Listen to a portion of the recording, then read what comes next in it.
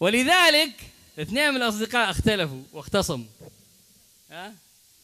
هذه قصة يقصها لي محمد الزير أبو محمود. اختلفوا على إيش الاثنين؟ ها؟ إحنا قلنا مرارا وتكرارا يا إخواني في الله. لما نصعد على هذا المنبر من غير ذكر أسماء. ها؟ ليش بتطلع على أيمن؟ أنا قلت أيمن. رجع بيطلع على أيمن؟ ها؟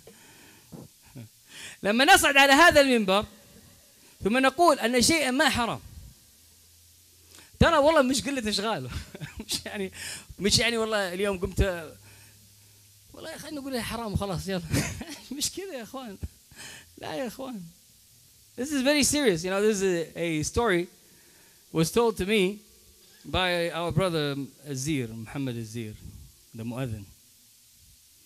See, this is the thing when we go here on the member of Muhammad Sallallahu Alaihi Wasallam. This is a huge responsibility.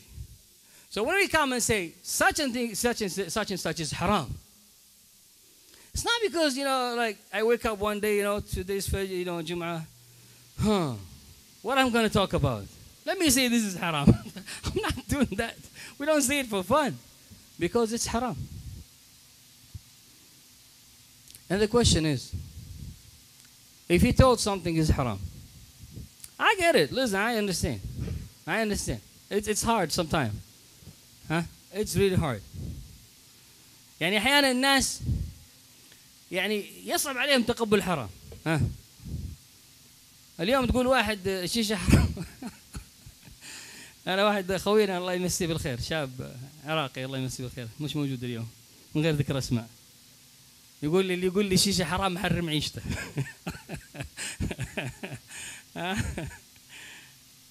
لا ونقول لك الدخان حرام. طبعا في واحد ما شاء الله عليه قطار. يدخن سجاره ورا أخته. يطفي سجاره ويولع سجاره والسجاره في طفاها لسه الثانية ما طفاها ينساها. فتقول له حرام. آه يقول لك والله الشيخ هذا والله الشيخ هذا تعبنا والله. حرم علينا الحياة كلها ما عاد بقى شيء من ملذات الحياة. This is the thing, you know. Well, as a brother, you know, you know, he have this uh, quite funny saying. Like he said, if you tell me she says haram, I'm gonna make your whole life haram, right? As people, they don't accept. They don't accept it. It's hard. You tell someone, oh, cigarette is haram. You know, some brothers, whew, mashallah, tabarakallah. They're like a train. Boom, boom, boom, boom, boom, mashallah, tabarakallah. I don't know whether they have a lung or they have like some kind of a box inside or, I don't know, a tire or something. Mashallah. I want them dying tomorrow saying the sheikh said that on the member. But for real, you tell someone something is haram. يا زي على قولة إبراهيم يا عم الشيخ ها يعني إيش يا عم الشيخ؟ يعني مشيها اخليها مش حرام ما هي حرام اسمها اسمها حرام حاء راء الف ميم ميم حاء راء ميم محرم when it's, it's called haram it's not allowed it's forbidden it's forbidden there's nowhere there's like no way around it so we talk about the meat that we eat. Okay, we trust our, our brothers, Abu Naif, Abu Umar. Okay, we go to the shops, they sell halal meat, they sell halal chicken. I, I spoke to Muhammad Fahmi, he told me, Wallahi, we pay top dollar sometimes, we pay too much to get it. Some brothers, they want to save a couple of dollars, they go to Sam's Club, get a chicken, just save a couple of dollars. That's okay, Ahl Kitab. We said there's no such thing today, Ahl Kitab, in this country. We said that. We cleared that out. There is no such thing. Ahl Kitab in this country, they no longer exist. For many reasons. Today, most of the people, they are Christians by title. There's a lot of people who are not even Christians. They're Americans, atheists. This is something is big in America. There is something called agnostic. And this is big in America.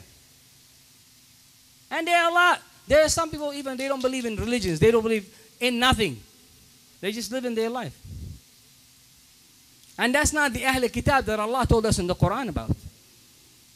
يعني هذه المسألة يا إخوان أنا قد حددتها ووضحتها من قبل. قضية اللحوم التي تباع في هذه البلاد. يعني إحنا نثق في إخواننا أبو عمر وأبو نايف أبو نايف وأبو عمر.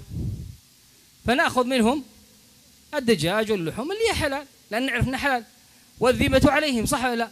ها؟ اولا أن نقول أن ما يبيعونه ليس حلال هذه مصيبة وجريمة. لأن هذه فيه قول بغير علم واحد. اثنين فيه اتهام بالباطل. ثلاثة فيه قذف للمسلم بما ليس فيه. بعض الناس يروح على سامس كلاب ولا على وول مارت عشان يوفر الدولار دولارين في الدجاجة. في الدجاجة. دجاجة ولك. تقدر توفر دولارين ثلاثة دجاجه وأنت تعلم أنها ليست بحلال. وقد أسسنا لهذا الموضوع وقلنا أنه ما عاد في شيء اسمه أهل الكتاب في هذه البلاد. أغلبهم إما وثنيون. وثني. وإما ها ما يسمون بالباحثين عن الحقيقة الحقيقة يسمون إيش؟ الاجنوستكس هذول يعني لسه مش متأكد. ومنهم من لا دين له. ومنهم الملحدون وهم كثر الملحدون في هذه البلاد. يؤمنون بالعلوم فقط لا يؤمنون بوجود الله عز وجل. معظم المصانع المطاعم اوت باك برجر كينج ماكدونالدز هذه اللحوم كلها ما هي حلال. قطعا قولا واحدا وأتحدى واحد يجي يثبت لي هذه اللحوم حلال. عندما ما يسمى الآن بالإنتاج الجماعي. الإنتاج الجماعي أنا أخ فلسطيني أعرفه عز المعرفة من الخليل.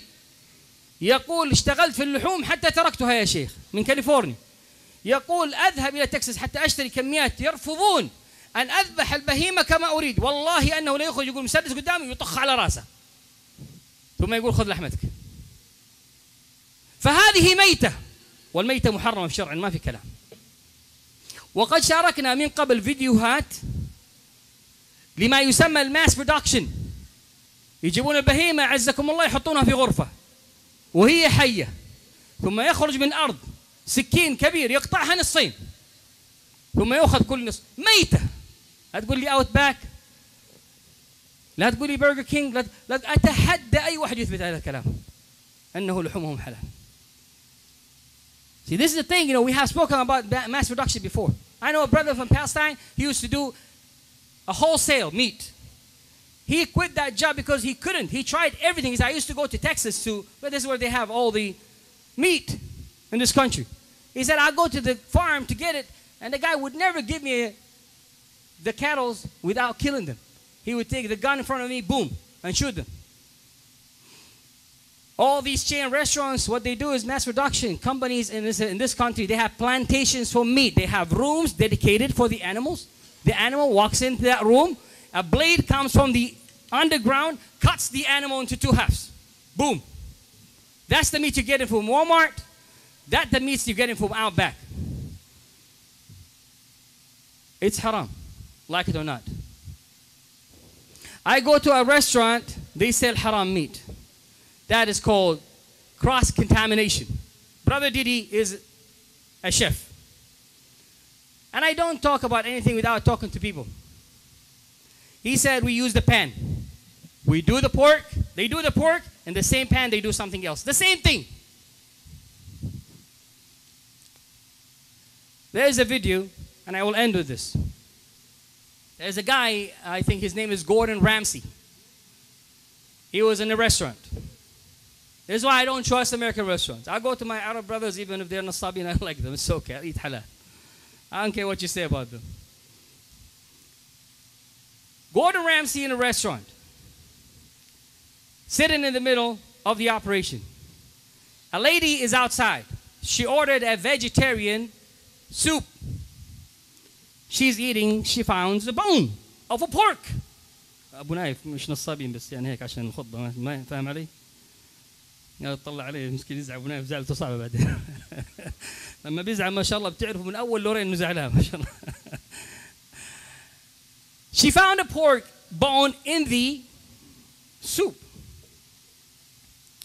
She looked at the bone and she called the waiter and she's like, What is this? I ordered vegetarian soup. The guy didn't know what to say. Chef Ramsey comes out. He looks at it. He's like, What is this? What's going on? What's going on? What's happening? Well, she found a bone. And he's like, What? Let's go to the kitchen. Let's go. Musiba, musiba. Let's go.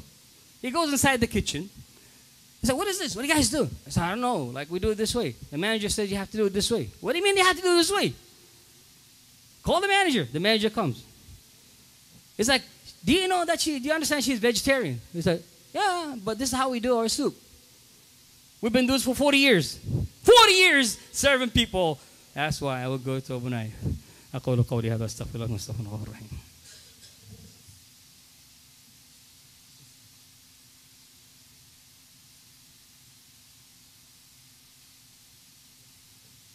الحمد لله وكفى وصلاة وسلام على على عباده الذين اصطفى. ثم أما بعد عباد الله. إحنا لما نتكلم في هذه المواضيع الحساسة. لأن والله نخشى عليكم وعلى أبنائكم. كما ذكرت لكم قصة قبل قليل. مطعم أمريكي متخصص تجد فيه الزبونة عظمة خنزير في مرقها وقد طلبت مرقا نباتيا وهو ما نفعله إحنا المسلمون. يعني قال لك يعني إحنا رايحين مطعم أمريكي فنطلب شغلات فيجيتيريان يعني عشان. فطلعت لها عظمة في المرقة النباتية. تتكلم مع الشيف الشيف يقول آه آه الويتر يقول آه آه يطلع جوردن رامزي يروح على مدير المطعم إيش هذا؟ يقول إحنا 40 سنة هذا شغلنا. أي مرق بنسويه بلحم الخنزير وعظمه. أنت حر. ولكن اعلم أن النبي صلى الله عليه وسلم طلع عليه مليح طلع عليه مليح أن النبي صلى الله عليه وسلم قال أيما جسد نبت من السحت. فالنار أولى به Rest assured that the Prophet ﷺ said, any flesh that was built and grown from haram, the hellfire is more entitled to it. أسأل الله سبحانه وتعالى أن يحبب إلي وإليكم الحلال وأن يكره إلي وإليكم الحرام والكفر والفسوق والعصيان اللهم اغفر لنا